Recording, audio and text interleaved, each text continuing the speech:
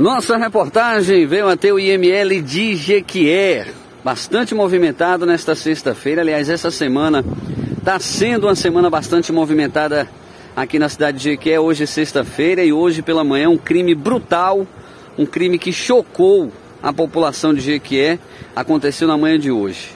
Pai de família, trabalhador, estava trabalhando de mototáxi ali na Avenida Lomanto Júnior conhecido como Juninho, bastante conhecido, onde um elemento, um bandido, hoje pela manhã, é, fez uma corrida com o Juninho e foi até o loteamento Amaralina. Chegando no loteamento Amaralina, o elemento anunciou o assalto e tentou tomar a moto do Juninho de, de assalto.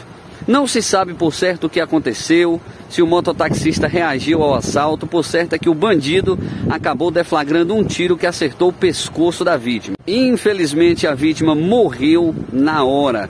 Nesse exato momento, o corpo do mototaxista está aqui no ML, vai ser necropsiado e entregue aos seus familiares. A polícia militar está no caso. Segundo informações, logo após a, é, de ter atirado na, no trabalhador, este ladrão, bandido, ele pegou a moto da vítima e saiu é, em disparada a moto. Tinha alarme, parou né? E o bandido começou a empurrar a moto ali no Jardim Amaralina. Segundo informações, quando ele não pôde mais empurrar essa motocicleta, ele abandonou a mesma. Vou mostrar para vocês a moto da vítima, já está aqui no complexo policial para ser periciada.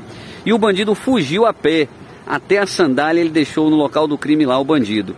E a polícia militar está no caso, já está né, ali na Avenida Lomanto Júnior, onde o mototaxista trabalhava, já está pegando câmeras de segurança, inclusive vou deixar na sequência a foto deste elemento que teria tirado a vida desse trabalhador. Né? E a Polícia Civil também já está no caso para prender este elemento que tirou a vida desse trabalhador. Então é isso. Né? Uma sexta-feira triste aqui na cidade. O Juninho trabalhava como mototaxista. Além de ser mototaxista, ele também é, vendia, fazia jogo do bicho, vendia rifa. Ele era um jovem trabalhador que trabalhava, já trabalhou muito, por muito tempo na Embasa, trabalhou como frentista em postos de combustível da cidade e infelizmente teve sua vida ceifada dessa forma.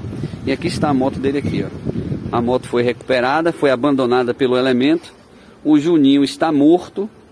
A sua moto aqui no IML de Jequié, infelizmente, a vida de um pai de família, a vida de um trabalhador foi ceifada por um motivo tão fútil que foi uma motocicleta. Bandido foragido e a polícia nas ruas. Estamos acompanhando o caso e a qualquer momento tem novidades aqui no nosso blog G que é urgente. Deixamos aqui as nossas condolências a toda a família desse trabalhador que era o Juninho que inclusive tínhamos né, uma aproximação à vítima. Então, é, as condolências a todos os familiares.